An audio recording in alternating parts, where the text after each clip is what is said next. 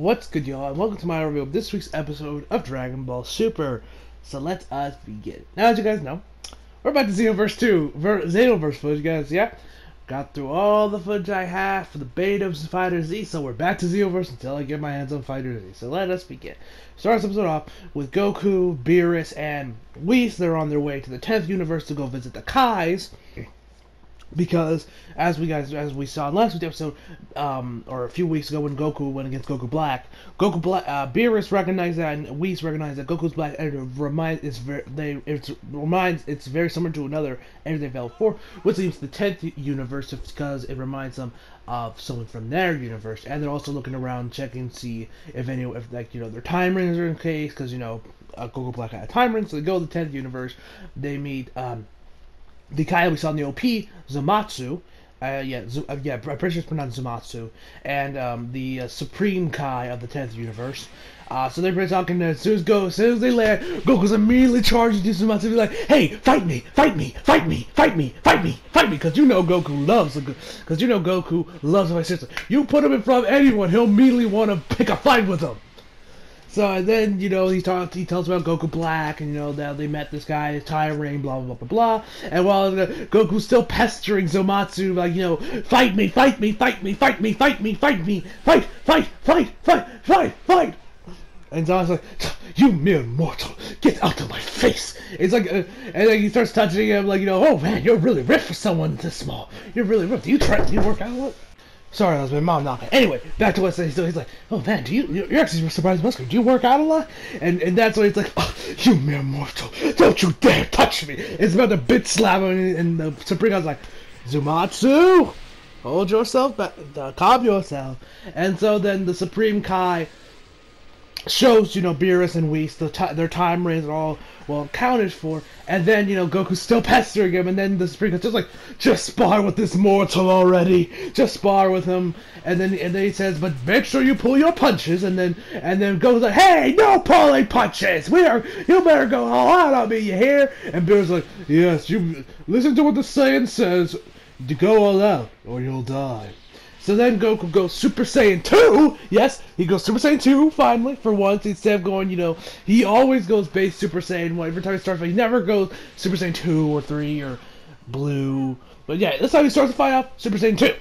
I don't know why he doesn't just go straight to Blue. He's going against the Supreme God. I'm sure, pretty sure he could take the power of Super Saiyan Blue but whatever, I don't. Why does Goku always hold back? This was like, said, you want to fight Goku? Go all out. You're telling him to go out. Why don't you go all out? Put on the Kaioken technique as well.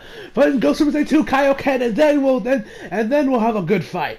But so anyway, they go. They have a battle. Uh, Beer looks like Zamatsu's getting over him, where he like you know dodges one of Goku's attacks, and it's about to hit him in the back of the head. You know, like Beerus did in episode four. Goku's like, I ain't having this shit today, and he counters in. They just you know brawl, and then Zamatsu powers up, and that's when they realize, and that's when Beerus realized and we realize that they're that uh, Zamatsu's energy is actually very similar to Goku's Black now. Now I'm sure everyone that like when the show episode's coming out sub, everyone has had like, oh maybe Zamatsu becomes Goku Black, maybe he is Goku Black blah blah. Now, as I now, like I said, guys, I don't watch Dragon Ball Super subbed. I never did. And when the Goku Black art, that was even before I was even into anime. Really, I mean, I watched D, I watched like you know, it's like the Cell Saga of DBZ, but that's only because I wanted to know what's all the hype about Dragon Ball Z.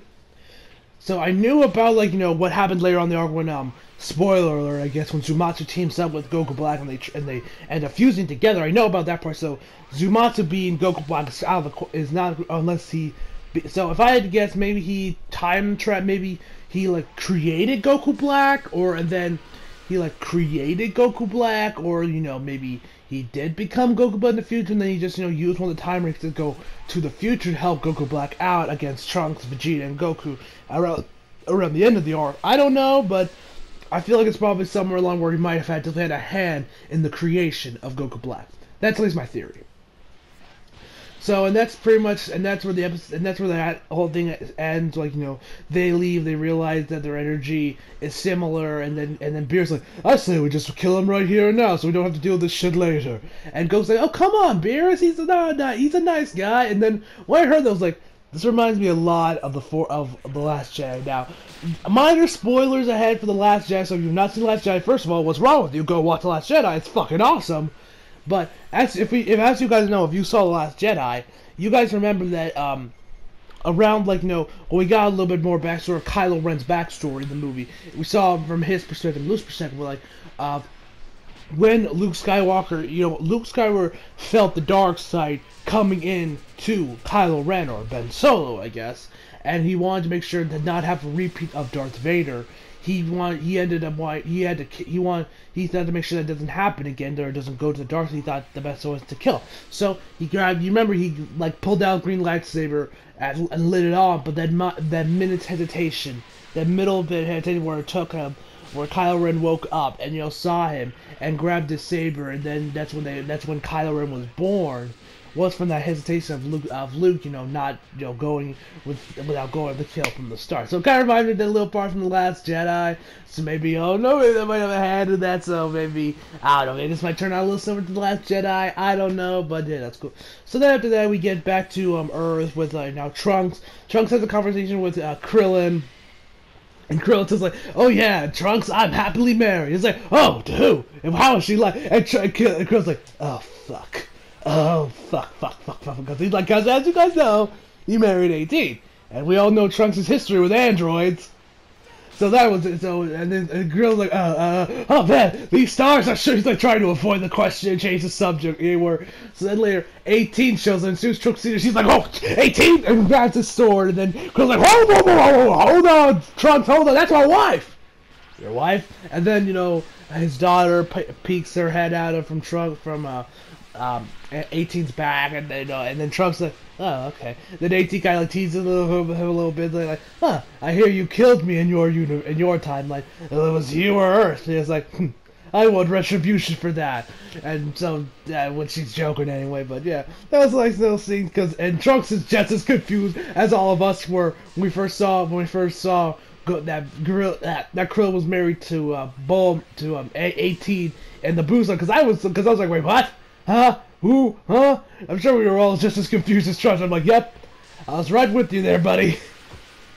So after that we get to like pretty much like around the end so we're kind of slowed down a little bit in my opinion of where you know we're in like this forest area. Trunks is kind of just chilling around and then you know Mai and and um um, um King Emperor Pilaf shows up, you know, they're like doing the thing, and then you know, of course, you know, Mai is crushing hardcore on future Trunks, and then and then you know, so you know, their shenanigans ensued so that Mai can have a few seconds with future Trunks, and then Kid Trunks shows up. He's like, "Hey, Mai, I love your personality." Like he goes on her hardcore. Like I'm like, he's blushing hardcore too. I'm like, bro, ease up, ease up. You're screwing yourself against yourself.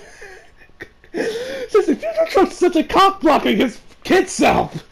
And, and that's much the episode ends with, like, you know, that going down. Overall, really great episode. My final verdict is a 9 out of 10. Hope you guys enjoyed the video. Leave a like if you did. Subscribe if you're new. Follow me on Twitter if you like my social response below. And as always, come back for more. See you guys next time.